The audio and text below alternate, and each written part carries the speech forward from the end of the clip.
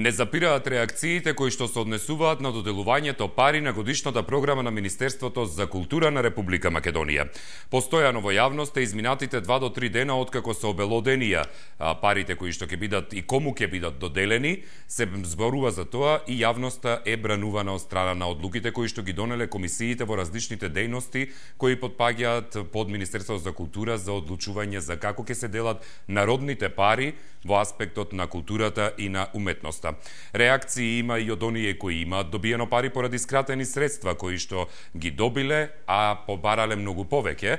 Реакции има и од оние кои не добиле, но реакции има и од обичната народна јавност неповрзана со културата и со уметноста по однос на тоа кој се добил пари, дури и повеќе од она што веќе има побарано. Токму за тоа колегата Јован Ѓорговски во текот на вчерашниот ден на дневно информативните изданија имаше и свое јавување во дневникот во живо, но и прилог кој што го подготви на темата. Ке го погледнеме тој прилог, а потоа ќе ви прочитам и што е она што е најново од текот на денешниот ден. Годишната програма на Министерството за култура и годинава мета на критики. За програмата пристигнале повеќе од 5000 пријави, сепак финансиски средства ќе добијат само половина од нив. Околу 4,5 милиони денари или 73.000 евра Министерството ќе даде за организација на деценија без тоше. На пианистот Симон Трпчевски Министерството ќе даде околу 8.000 евра, а 3.000 евра ќе одвои за концертот на Дуке Бојаджиев. Истата сума ќе добијат и браќата Тавитијан и Владко Стефановски. Покрај за издавање на CD, близу 5000 евра, ќе добие малиот Диган Максути од Тетово. Истата сума повторно била доделена на 12 годишниот Диган, но овој пат за субвенција за концерт на кој ќе ги пее своите песни. Предвидено околу 5000 евро од Министерството да бидат одвоени и за геј парада. Сепак најголеми критики Министерството доби откако во јавноста се обелодени дека дел од членовите на комисиите добиле средства од проекти во кои самите конкурирале. Од Министерството пак велат дека не станува збор за конфликт на интереси. Правото на учество во конкурси е уставно гарантирано право. Ние не смееме било кому да му го одземеме тоа право, доколку за тоа не постои причина. Во овој случај нема конфликт на интереси бидејќи членовите на комисиите не носеле одлуки за своите проекти. За нив одлуките биле носени од сосема други комисии, па следствено на тоа Министерството нема право да донесува одлуки со кои би се деградирале уставните права на граѓаните на еднаков пристап до можностите за поддршка што ги нуди Министерството. На објавената програма вчера реагира актерите од Кумановскиот театар. Се жалат за висината на средствата одвоени за театарот и неравномерната распределба на средствата. Ние се надевавме дека од оваа година малку поинакви ќе бидат работите, меѓутоа на овој конкурс видовме дека ништо не е сменето, дека се уште огромни се разликите во финансирање на посилните и а, како минималното финансирање на оние што се навистина слаби и на кои што им треба помош. Од Министерството пак тврдат дека работат интензивно на обезбедување на услови за работа во Комановскиот театар. Министерот Аладјозовски при презентација на програмата истакна дека со неа се дава поддршка за проекти што градат едно општество и посочи дека доматинското работење и одговорноста кон парите и граѓаните биле водечки принципи во процесот. Годишната програма на Министерството беше критикувана и во минатото за селективност, а Министерството беше често нападено и за нетранспарентноста во работењето. Тоа е прилогот од вчерашниот ден на колегата Јован Ѓорговски, кој што се однесува токму на доделувањето пари од страна на Министерството за култура за годишната програма конкурс кој што беше објавена на кој имаат право да се пријават сите. Законски гледано, точно е дека секој има право да се пријави на конкурсот, но морално и етички гледано, по однос на она што се правда Министерството, е токму прашањето за тоа како па други комисии доделувале пари на членови на други комисии кои што исто така доделуваат пари по истата годишна програма. Значи не станува збор за повреда да речеме на правото, иако може би некои експерти не би се согласиле во однос на тоа, туку станува збор за тоа колку човек чувствува морална и етичка одговорност да земе пари иако членува во дел од комисиите кои што токму ги доделуваат тие пари, без разлика дали биле членови на таа комисија конкретна или учествувале на конкурс на друга комисија која што е во иста просторија, канцеларија до канцеларија или каде и да ги одлучувале средствата. 0260 или 925 се телефонските броеви на кои може да ни се јавувате или пак да ни пишувате на фан страницата на Facebook мој термин Очи во очи. Добар ден и добро дојдовте во најновото издание на емисијата Очи во очи заедно со мене Огнен Јанески. Дали имаме некој на линија?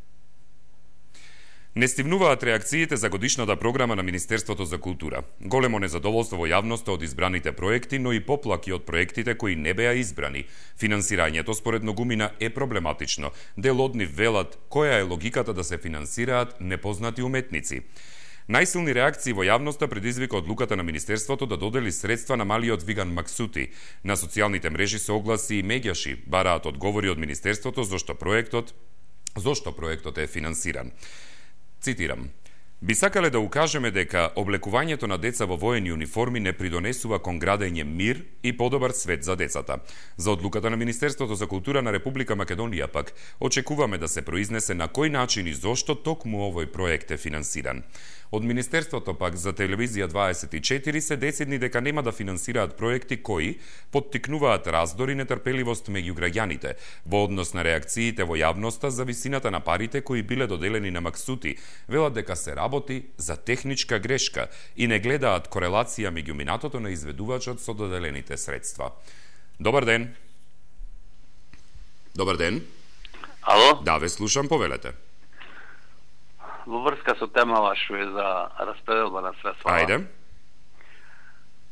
мислам дека што ние се боревне во да минатиот режим е, биде променет со нивниот тоталитарен систем на владење во нашава држава, што на нашите, на вашите беше, мислам дека на овој начин сакат и нова влада, односно раководство преку овие комисии што ги доделува средствава на овој начин како што, како што сте информирани преку медиумите да во истиот систем во тој правец Мислам дека ако то продолжи, значи ќе ние нема држава ни вака, ни, ни право, ни правда ќе се види, ништо нема да се види во нашава земја.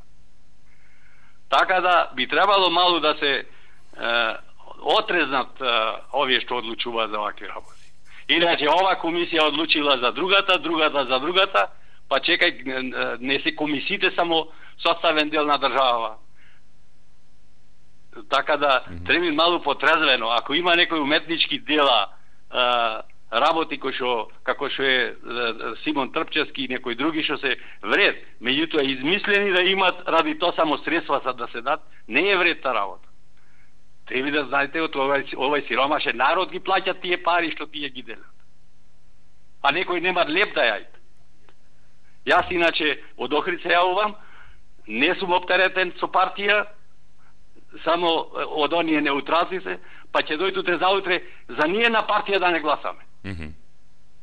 И на крај крајава треба да се мени изборниот систем за да знаеме кој е тој човек што треба да гласаме, а не за името на партијата. Mm -hmm. Добро. Јас не би сакал многу да коментирам, нек осам просори за други. Благодарам. Благодарам и пријатно. Поздрав до Охрид ви посакувам во ден а. таму. Следен на линија, повелете. Цитирам на реакција, ја цитирам реакцијата на Министерството за култура по однос на парите кои што му биле доделени на Виган Максути. Наша цврста заложба е да обезбедиме силна поддршка за културни проекти кои градат едно општество за сите. Колку што сме ние запознаени, Виган Максути е изведуваш на песна за Адем Јашари, која е снимена пред неколку години. Не гледаме корелација помеѓу минатиот опус на изведувачот и средствата. Во однос на зголемувањето на средствата за носачот на звук се работи за превид, односно да потенцирам само во овој дел да појаснам, дека бараните средства изнесувале сума од 200.000 денари, а во веќе објавените резултати, се извинувам, за добиени средства се 300.000 денари. Продолжувам понатаму со цитатот. Техничка грешка кај објавената сума за висината на побараните и одобрените средства. Таа ќе се коригира откако комисијата ќе ја разгледа повторно апликацијата, затворен цитат. Објавената годишна програма на Министерството предизвика силни реакции во јавноста откако се обелодени дека членовите на комисиите дополнително учествувале и на проекти кои добиле поддршка од Министерството. Проектите кои беа одбиени за годишната програма на Министерството сега имаат право на жалба во рок од 15 дена. Добар ден! Имаме некој проблем со линиите по однос на јавувањето, така што голема е веројатноста да многу потешко се добива а, комуникација со нас, но се обидуваме и работиме максимално на тоа, кој не може да добие веднаш нека ни пише на фан страницата. Во меѓувреме, Самостојниот синдикат за образование, наука и култура на Република Македонија или скратено СОНК денеска реагираше за распределбата на средствата од буџетот на Република Македонија преку Министерството за култура на име за проекти на кои конкурираат организации од граѓанскиот сектор. Исто така синдикалците бараат и продолжување на преговорите за подпишување на колективниот договор. Во соопштението на СОНК реагира на како што се наведува нефункционалното трошење на државните пари, обезбедени преку Министерството за култура за дел од проектите, што со ништо не ја отсликуваат, презентираат или воздигнуваат културата во Република Македонија. Според СОНК, некои од проектите се сомнителни во оправданоста да бидат одобрени преку Министерството за култура како и проекти што се поднесени од членови на комисии кои одлучуваат за доделување средства за туги, но и за своји апликации. Цитирам. Огромно е разочарувањето кај културните работници што се вработени во установите од културата, а кои реално се едни од најслабо платените работници во јавниот сектор и очигледно се заборавени од страна на државата.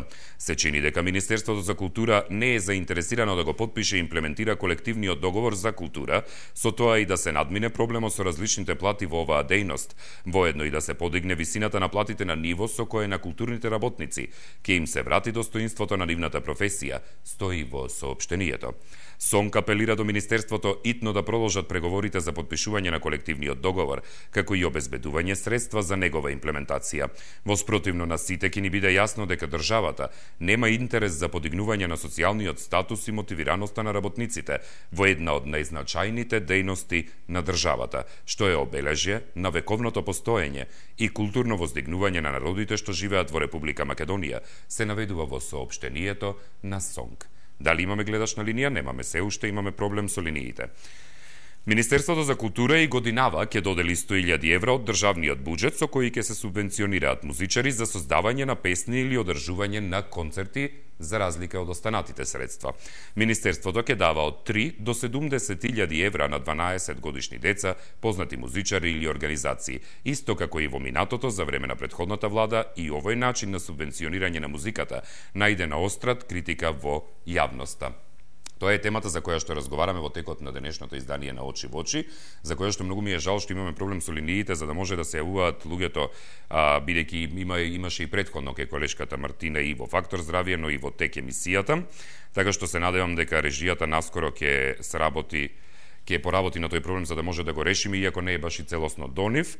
А, се разбира, за оваа тема се зборува многу, затоа што секој пат била на мета на јавноста, без разлика колку транспарентно или нетранспарентно се доделувале парите. За разлика од предходната гарнитура, да речеме, кога ваквите објави на годишните програми, освен на интернет страницата на Министерството за култура, не беа јавно изнесувани преку начин на пресконференција, како што тоа беше направено годинава, да, може би пристапот е потранспарентен, но проблематичноста во начинот на како се распределени средствата за годишната програма програма на Министерството за култура е она за што и најмногу реагираат граѓаните на Република Македонија, секој, секој од свој аспект, секој од различна област. Како што реков и на почетокот, дел реагираат за тоа што парите кои што ги барале и кои ги добивале во изминатите години во однос на сумата и која ја имаат оправдано зошто е толкава сумата, но овој пат не ги добиле, туку им се скратени буџетите за неколку де, а, де, за неколку проценти, практично да речеме 10, 20, 30, 40 проценти, додека пак други кои што побарале средства, тие не ги добиле. Но од друга страна пак имаше и случај, како во случајот на изведувачот Виган Максути, каде што барајки 200.000 за албум, односно носач на звук, му биле доделени 300.000 кои пари кои што не ги барал. Од друга страна пак дополнително се реагира и на тоа дека членови, односно председатели на комисии, добивале средства за своји собствени проекти, но од други комисии каде што ги поднеле конкурсите. Сашо Кокаланов, новинарот и драматург кој што реагираше, само ќе ја најдам неговата изјава дополнително за да може да ви ја прочитам, кој исто чие што име и презиме беа исто така споменати во а, јавноста и по медиумите дека добил а, средства, а, реагираше на социјалната мрежа Facebook подносно тоа и неговото реагирање гласи вака цитирам. Си го гледам името по портали па да ги информирам сите загрижени дека не сум добил никакви пари од Министерството за култура. Никогаш, а ете се погоди така да не добијам ни оваа година. Имав аплицирано со книга драми, но откако се согласив да бидам во комисијата за издавачка дејност, ја повлеков пријавата поради судир на интереси. Што се однесува до проектот на Филип Херин за театарска представа каде што фигурира моето име, точно е дека се согласив да направам драматизација на романот на Звездан Георгиевски, кога конкурираше. Тогаш немав поим дека ќе бидам во комисијата за издаваштво, се објаснувајќи при тоа во реакцијата каде вели прво се конкурира, па се прават комисии за тие што не знаат. Парите ги добила продукцијата, не јас. Продукцијата на Филип Херин од Скопје секако ќе треба да ангажира друг драматург на проектот, така што не сум добил ниту ќе добијам пари на овој конкурс и книгата ќе треба пак да си ја објавам со мои пари. П.С. Инаку, До сега сум објавил пет романи за издавачките куќи Култура и Или Или и никогаш не сум добил ниту денар финансиска помош од Министерството. Сите сум ги објавил со мои пари. Исто така ја напишав и театарската представа Крвта не е вода, која има повеќе од 30 изведби во драмски театари, за тоа исто така не сум добил ниту денар од државата. Реакцијата на Сашо Кокаланов појаснува неколку работи, а тоа е дека прво се создава, се пријавува човек и аплицира на конкурсите за годишната програма, потоа се создава создава, создаваат комисиите. Она што колегата новинар го направил во однос на себе е тоа што се повлекол од ваквите конкурси, затоа што, како што споменав и на почетокот на емисијата, не е а, морално ниту етички да учествувате на конкурс за кој, на кој што вие може би сте член или председател на комисија, не токму вие да си ги доделите сами на себе парите, но оние колеги кои што ви се дел од другите комисии и членови и работите на истата годишна програма со истите народни пари, вие да добиете пари токму на таа годишна програма, иако тоа законски гледано е многу фино избегната, да речеме, избегнато незаконството.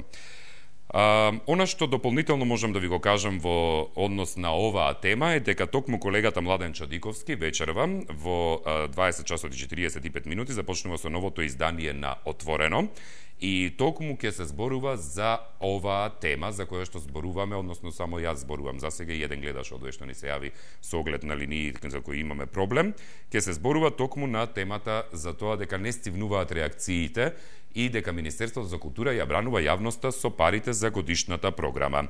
Гости во 24 отворено вечерва се Бобан Милошевски од Авалон, Петрит Сарачини, кој што е посебен советник за односи со јавноста во Министерството за култура на Република Македонија, Александар Ристовски принц, композитор, но и Мирко Попов од PMG Recordings. Да, очигледно имаме доста проблем со а, со линиите, но доколку успееме барем да имаме некој кој што ќе ни пише на на фан страницата на Facebook, ќе ги прочитам тие коментари, а што се однесува до телефонските линии, веројатно доколку не ги а, поправиме во меѓувреме, имаме уште 4 до 5 минути а, барем да пополниме дел од програмата, па потоа и ќе морам да се одјавам затоа што оваа емисија сепак има за заложби да го слушне мислењето на граѓаните, а не да се изборувам јас сам со себе. А, понатаму, само момент, да најдам уште една, да, коалицијата Маргини, за она што и колегата Јован Ѓорговски го беше кажал во прилогот кој што имавме можност да го слушнеме на почетокот на емисијата, реагираше токму на, а, на тоа дека Министерството за култура ќе давало пари за одржување на геј парада. Во нивната реакција се вели Коалицијата Маргини најостро реагира на објавите дека коалицијата добила средства од Министерството за култура за организирање на геј парада, се вели во демантот од оваа коалиција испратен до порталите, односно и до медиумите. И имаме гледаш на линија, после ќе дочитам. Добар ден! Здраво, Огњан, те поздравувам многу. И јас ве поздравувам, повелете. Вака, кога гледам Огњан, такви теми се секирам, ако треба да знаеме. Ама, глед сега, треба малку да мислат и за нас, да виеш, ја одам по лекари многу, во тие три, во цела година, сега гора материјал добив за мојата болест, се на приватно одам. Ме разбираш? Mm -hmm. За тие реуматиски фактори во, во, во вакцина давах 6200, а со 10 типу а, а, пензија, сега во продавниците све е покачено. Еве јас во домот живеам, јајцето 63 динара на 70 динара. Ме разбираш? Mm -hmm. И мора да купам. Јаболки гледам едни никакви јаболки, не ми се дават 40 динара ни скапани. Mm -hmm. И јас сакам ово се закаснам. Така болест има многу. Па дај малку нека гледат. Еве за парното, пак ни дојде сметка, огњан. Mm -hmm. Што да правиме тетка сега? Ај кажи ми. пак ми нели рекоа нема да плаќаме цевки, така? Мгм. Нема да Да. плаќате сметки доколку не го користите парното. Не парното, нели за ваквото, за цевките. Не користам парно, ми го исклучија. Мгм. Нема пари, ми го исклучија, да. Да. Добро.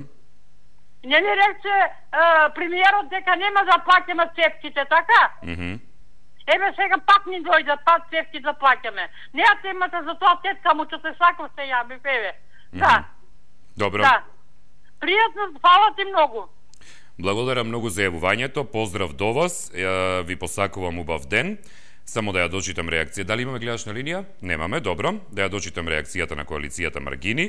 Од коалицијата Маргини сметаат или поранешна коалиција сексуални и здравствени права на маргинализираните заедници сметаат дека целта на објавата која што била дадена во медиумите во текот на вчерашниот ден дека Министерството за култура дало пари за одржување на гей парада, а, оваа коалиција смета дека целта на оваа објава е манипулирање со јавноста, ширење на дискриминаторски и хомофобичен говор на омраза, сеење на страф и морална паника, ширење лаги и репродуцирање на нетолерантните и насилни ставови во обштеството. Цитирам. На ваков начин повторно се злоупотребува ЛГБТ заедницата, активистите за човекови права и културните работници со цел собирање ефтини политички поени и девалвација на нивните политички противници. Одобрениот грант на коалицијата, како што и самите напишавте за да истото го игнорирате и манипулативно превртите во насловите на објавата, е за одржување на Скопскиот викенд на гордоста 2018 година, што ќе се одржи по шести пат годинава. Скопскиот викенд на гордоста е културен и уметнички фестивал на кој со години поред се представува представуваат и земаат учество некои од најзначајните современи уметници, теоретичари и културни работници од регионот, Европа и од светот, и за кои публиката со години поред покажува интерес, видливо во континуираната и огромна посетеност на перформансите, изложбите и предавањата во склоп на викендот се вели во демантот на коалиција Маргини. Она што дополнително може да се прочита дека колегата Јован Ѓорговски во дневникот во 17 часот го спрема и новиот извештај кој што се однесува токму на оваа тема за која што разговараме, а кој што извештај дел, ви го прочитав, а најмногу се однесува околу парите кои што се доделени на изведувачот Виган Максути. А, мислам дека веќе сме и при крај на емисијата со оглед на тоа дека колегите и ми дадоа а, знак дека со линиите веројатно нема ни да го решиме проблемот за време на емисијата. Имаме само коментар на фан страницата на Facebook. А, Имер на Facebook прашува, вели поздрав Огнен, ме интересира дали Министерството за култура е и за ромите. Да. Дополнително и тоа како прашање се представува и треба да се разгледа годишната програма дали воопшто има доделено средства кои што се однесуваат токму на а, ромската популација. Дејан пак пишува вели вака. Здраво Огнен. Ако е вистина тоа дека се издвоени буџетски средства на тоа младо дете во воена униформа на учака, тогаш за мене е тоа доволен показател за постоење на паралелна држава и паралелно општество. Тоа води во продлабочување на конфликтноста на етникумите, а не кон градење соживот. Лично, немам ништо против албанската култура и негувањето на истата од сограѓаните, но ова со униформа на учака и воспевање на терорист, ма ви се молам, тоа е надвор од здрав разум и покажување државност. Срамота. Има ли пилот во авионот, тоест во дотичното министерство, поздрав, ни пишува Дејан. Да, и од режијата веќе ми дадоа знак дека сме на крајот. А, можев уште да терам режија, не беше проблем. Ви благодарам многу за вниманието. Многу се извинувам што не успеавме да овозможиме јавување на јавноста, но а, ќе можете преку социјалните мрежи се за оваа тема што слушнавте во оваа емисија и што ќе слушнете во дневно информативните изданија денеска до 20 часот се разбира и она што имате како мнение да го кажете, да го споделите за време на одржувањето на 24 отвор, отворено емисијата заедно со колегата Младен Чадиковски, кој денеска ќе зборува заедно со своите гости, а тоа се Бобан Милошевски од Авалон продукција, Петрит Сарачини од Министерството за култура на Република Македонија, Александар Ристовски принц композитор и Мирко Попов од PMG Recordings.